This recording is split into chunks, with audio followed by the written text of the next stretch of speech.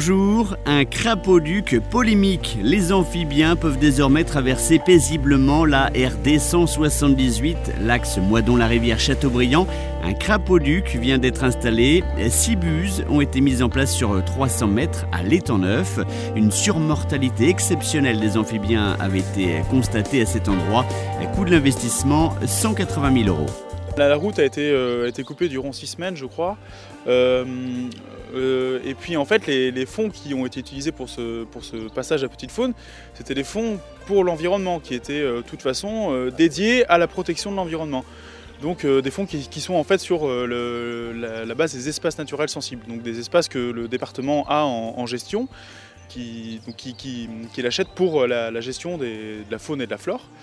Et du coup, euh, donc ce sont des financements qui étaient issus de, voilà, de, pour cette cause-là. Donc ça veut dire qu'il n'aurait pas pu euh, être dépensé pour d'autres euh, d'autres choses.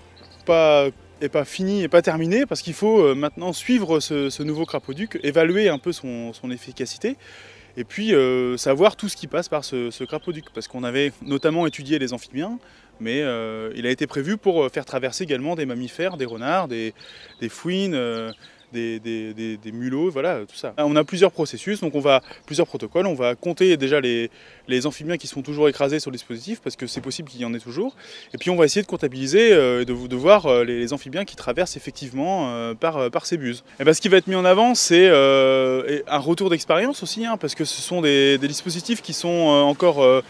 assez, assez rares à l'échelle de, la, de la France, mais aussi du département. Donc il faut, euh, il faut avoir des retours d'expérience, savoir si euh, la façon dont on l'a fait, euh, c'est la bonne façon, si on peut améliorer les choses, etc. Enfin voilà, on va mesurer toutes ces choses-là.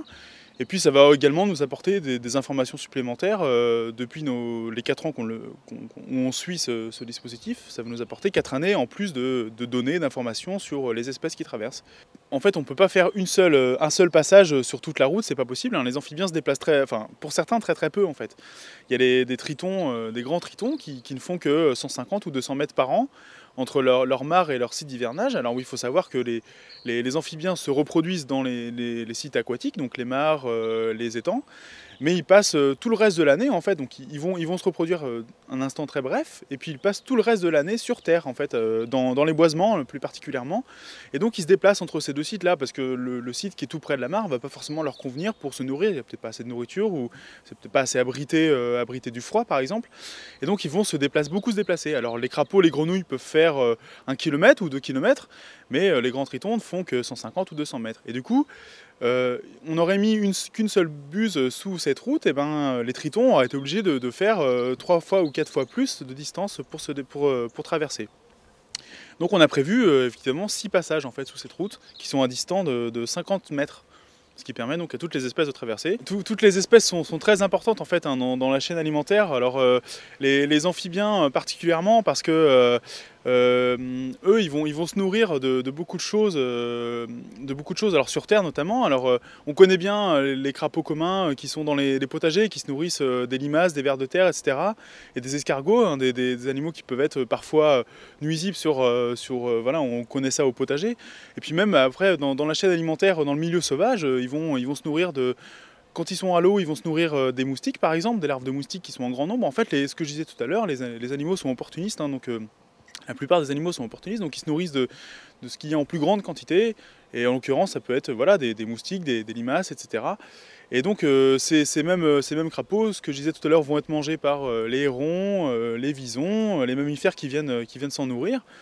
Et ils rentrent dans un processus de chaîne alimentaire. Alors c'est pas parce que l'espèce est très abondante qu'elle n'est pas forcément utile ou, qu'il n'est pas important de la préserver. Hein. Surtout les espèces comme les amphibiens, qui sont vraiment liés à plusieurs milieux dans, leur cycle de vie, sont très très importants parce que euh, ils sont en quelque sorte indicateurs, ce sont des espèces voilà, qui, nous, euh, qui nous montrent que les milieux sont encore préservés, sont encore là. Donc je pense que c'est très très important de, préserver ces espèces, même si ce sont de vulgaires crapauds, comme on dit.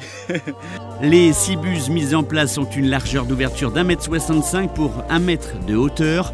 Le sol, lui, a été tapissé de feuilles et de terre pour inciter la petite faune à emprunter ce passage.